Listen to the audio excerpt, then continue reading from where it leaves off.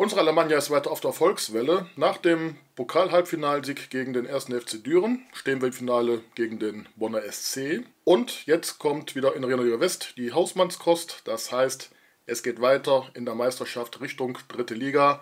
Und jetzt kommt Fortuna Köln zum Aachener Tivoli. Für Fortuna wahrscheinlich die letzte Ausfahrt in Aachen, denn sollten sie das Spiel hier nicht gewinnen, dürfte es wohl mit ihren Aufstiegsambitionen oder eine Chance darauf vorbei sein. Ebenfalls ein Unentschieden dürfte auch nicht viel nutzen. Das heißt, sie müssen hier gewinnen.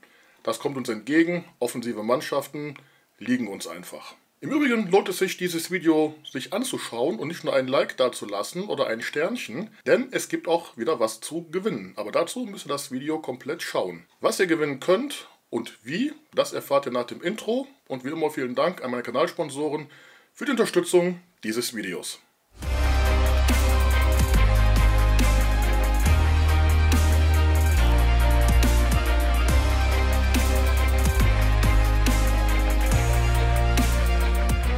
Tag zusammen und herzlich willkommen auf meinem Kanal.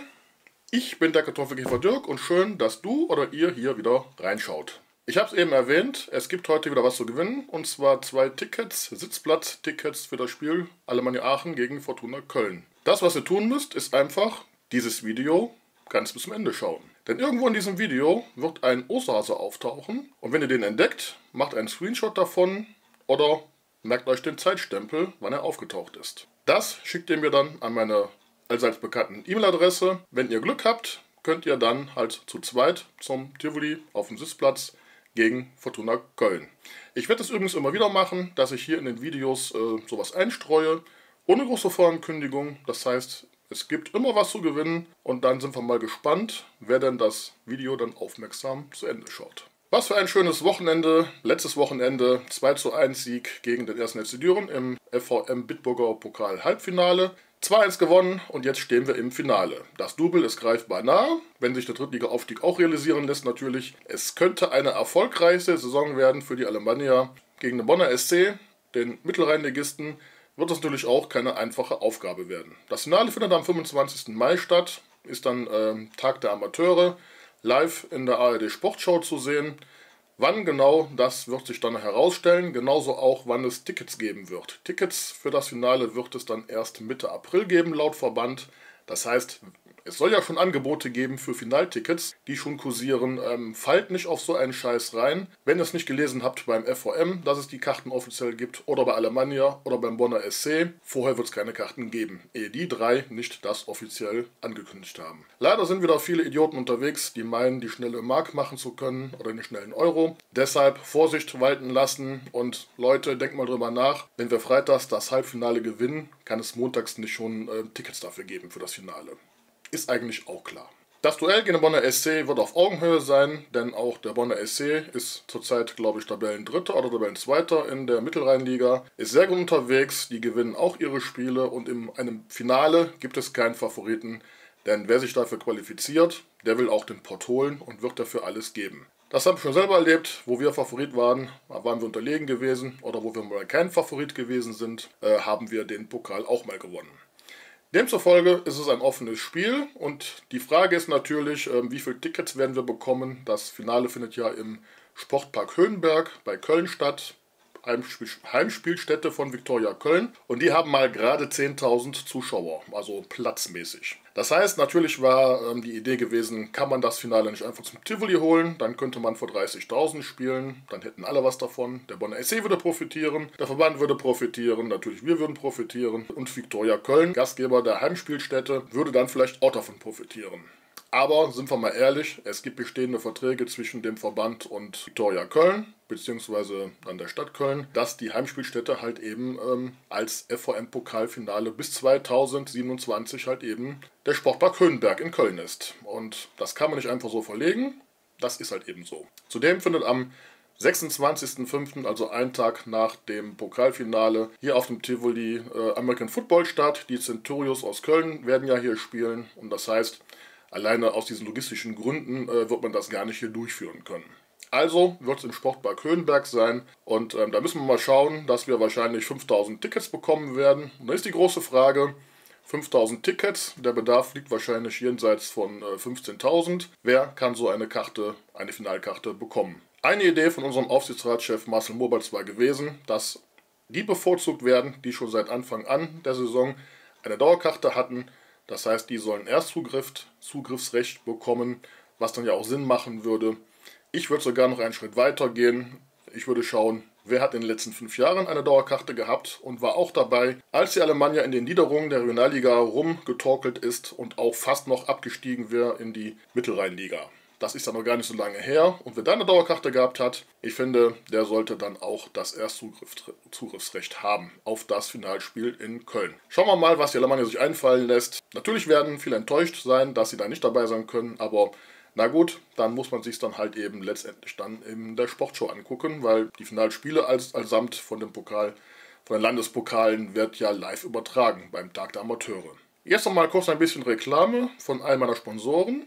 Und zwar die LVM Versicherungsagentur Bachmann und Küpper. Wenn es um Versicherungs-, um Vorsorge und Vermögensplanung geht, kurze Wege und direkte Ansprechpartner, dann seid ihr bei den beiden absolut richtig. Solide Produkte, ein gutes Preis-Leistungs-Verhältnis und eine faire Beratung erwarten euch bei den beiden. Falls ihr über einen Versicherungswechsel nachdenken solltet, schaut euch die beiden mal an. Ich kann sie euch empfehlen, nicht nur weil sie mich sponsoren, sondern es sind zwei super Leute. Lasst euch einfach mal beraten und macht euch ein eigenes Bild von den beiden. LVM Versicherungsagentur Bachmann und Küpper, vielen Dank für euer Sponsoring hier bei mir. Weiter geht's. Am Samstag um 14 Uhr kommt Fortuna Köln vorbei, der Tabellendritte. Muss hier seine Liste Chance suchen, will er denn in dem Aufstiegsrennen eventuell noch eingreifen.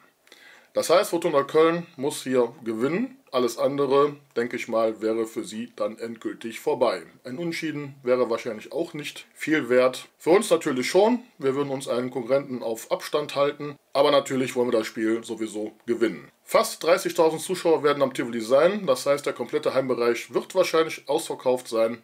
Und aus Fortuna Köln werden wahrscheinlich rund 300 bis 500 Fans mitkommen.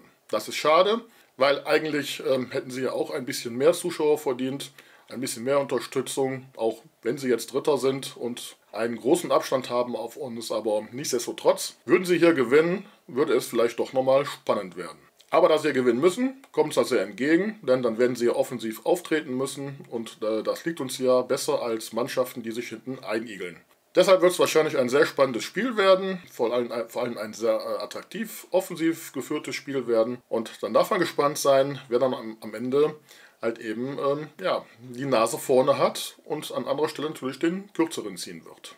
Während wir am vergangenen Wochenende ja in Sachen FOM Bitburger Pokal Halbfinale unterwegs gewesen sind gegen den ersten FC Düren, hat Fortuna Köln ein Testspiel absolviert und zwar gegen den European Conference Teilnehmer aus Luxemburg und dort gewann die Fortuna mit 1 zu 0. Noch während des Spiels muss ihr Innenverteidiger Tim Bedaric verletzungsbedingt ausgewechselt werden. Er hatte einen Pressschlag abbekommen und da muss man mal schauen, ob er jetzt am Samstag in Aachen dabei sein kann. Ansonsten äh, wird das wahrscheinlich schon ein grober Ausfall für Fortuna sein. Sind wir mal gespannt, ob er dann am Samstag hier auflaufen wird. Die Fortuna, auch eine Wundertüte gewesen diese Saison. Am Anfang der Saison sind sie als Tabellenführer weit vorangeschritten. Dann trafen sie auf uns und wir gewannen in Köln in Unterzahl mit 1 zu 0 im Hinspiel. Das war für uns unter Trainer Heiner Backhaus die Wende gewesen. Ab dann ging es für uns steil nach oben und Fortuna Köln fiel zurück. Wechselhafte Ergebnisse und Schwankungen in Leistungen haben dann dafür gesorgt, dass Fortuna Köln erstmal weg vom Fenster war. Aber jetzt haben sie sich mit neuen Trainer wieder rangerobbt. Das heißt, ihr Trainer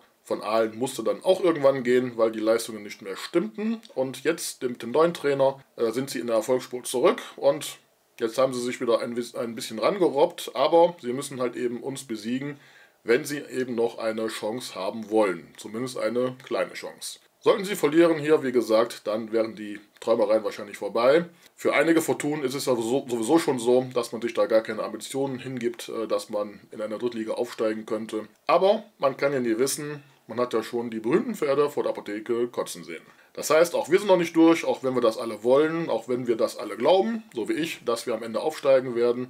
Aber man ist halt eben erst dann aufgestiegen, wenn es rechnerisch unmöglich ist, dass wir eingeholt werden, wenn es feststeht, dass wir aufgestiegen sind und die Ergebnisse entsprechend sind. Alles andere davor ist eine schöne Momentaufnahme. Wir werden weiter demütig bleiben, so wie es unser Trainer vorgibt. Aber als Fan kann man sich natürlich herausnehmen zu sagen, wir werden am Ende aufsteigen. Und daran glaube ich und Wahrscheinlich der ein oder andere von euch auch. Und deshalb denke ich mal, nach Fortuna Köln wissen wir mehr. Dann sind wir entweder einen sehr, sehr großen Schritt weiter Richtung dritte Liga oder halt eben, wir müssen eine kleine Pause einlegen.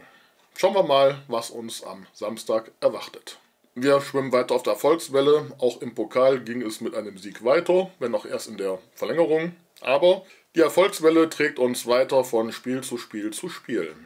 Verletzungsbedingt fehlen natürlich weiterhin Nils Winter, Sascha Mackey, Julius Schell, Lars Östwein und natürlich auch Julian Schwermann, der weiterhin seine rote Karte absitzen muss und das noch zweimal. Ansonsten sind wir alle gespannt, wann Anders Backert zurückkehrt. Jetzt am heutigen Mittwoch soll er einen Belastungstest machen, wo dann entschieden wird, reicht es, reicht es nicht. Gestern im Training hat er anscheinend nur individuell trainiert. Das heißt, ob es tatsächlich reicht für Fortuna Köln, das werden wir ganz kurzfristig sehen. Zumindest gegen den ersten FC Düren war er auch im Kader gewesen, auch wenn er nicht zum Einsatz gekommen ist. Aber sind wir mal gespannt, ob er dann Samstag gegen Fortuna Köln zumindest ein Wechselspieler auf der Bank sitzen wird. Ansonsten sind fast alle wieder zurückgekehrt. Vincent Schaub ist wieder dabei und auch Marc Brasnic, der ja im Pokal wegen Rückenproblemen fehlte, soll wieder dabei sein. Warten wir es ab, was dann am Samstag äh, uns dann erwartet im Aufgebot und die erste Elf, die dann gegen Fortuna Köln antreten wird. Ich sagte es schon, 30.000 Zuschauer werden erwartet und wenn ihr, wie gesagt, dabei sein wollt, dann